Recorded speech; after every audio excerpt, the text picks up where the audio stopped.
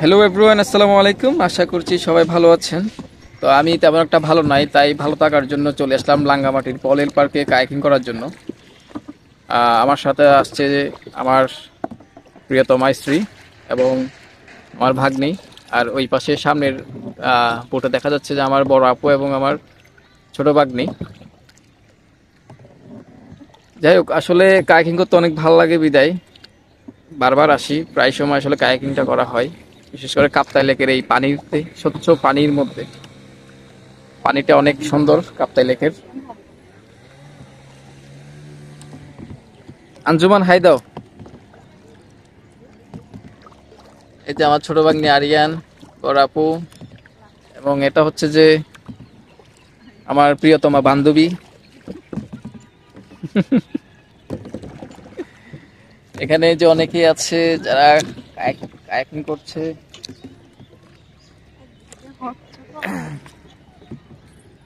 আমি আবারও বলি লোকেশনটা এটা হচ্ছে যে রাঙ্গামাটির পলেল পার্ক।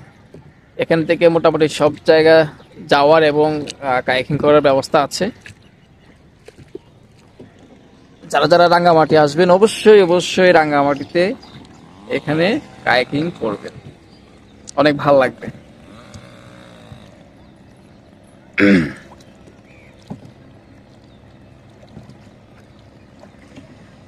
দেখুন, কি সুন্দর আকাশ, কি সুন্দর বিকেল। মূলত এই সময়টাতে কাইকিং করতে খুব মজা লাগে, কারণ এই সময়টাতে রোদ থাকে না। ঠান্ডা ঠান্ডা আবহাওয়া, আকাশটাও সুন্দর থাকে। কি সুন্দর।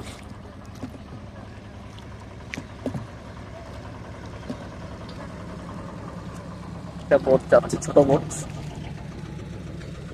না, ওইদিকে ক্যামেরাটা ধরো একটু। কেউ কিন্তু দেখবা। তোমরা ভয় পাইও না। তোমরা তো ইয়া লাইফ জ্যাকেট নিয়ে আসছো, আমি তো তাও আনি আসলে অনেক মজার বিষয়টা, অনেক ভালো লাগে। যারা যারা করেন নাই, আগে কখনো, তারা করবেন ভবিষ্যতে।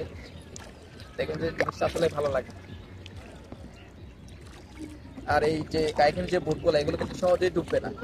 পুরোপুরি ফাইবারের বোটগুলা। যারা নতুন নতুন বিয়ে করছেন তারা অবশ্যই রাঙামাটি আসবেন আসলে অবশ্যই কাইকিংটা করবেন। অবশ্যই গার্লফ্রেন্ড নিয়ে তো আসবেন তো বলার দরকার নাই আর।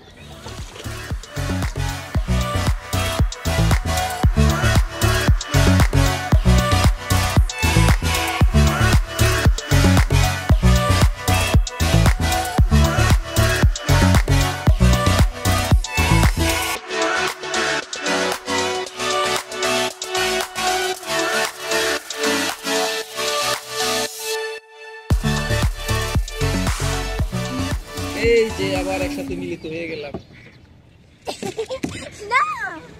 এই যে। এটা- না ওটা ধরো এটা ধরো। এক হাতে ধরো না এটা। এটা ধরো না চলে যাচ্ছ না তোমরা জন্য। ধরো এই নে। আসলে এগুলো এক সময় স্মৃতি হয়ে থাকবে আর কি। আজ থেকে দশ বিশ বছর পর যখন এগুলো দেখব আসলে অনেক কিছুই মনে পড়বে। তখন কে কোথায় থাকব তো যা- তা জানি না। মিস করব সময়টা দেয়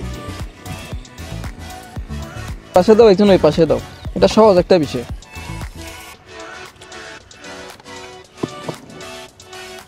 যাই হোক আমি ভিডিওটা শেষ করছি এখানেই। আশা করি ভিডিওটা আপনাদের ভালো লাগবে। আর যদি ভালো লেগে থাকে তাহলে অবশ্যই লাইক কমেন্ট এবং শেয়ার করবেন। সবাইকে অসংখ্য ধন্যবাদ।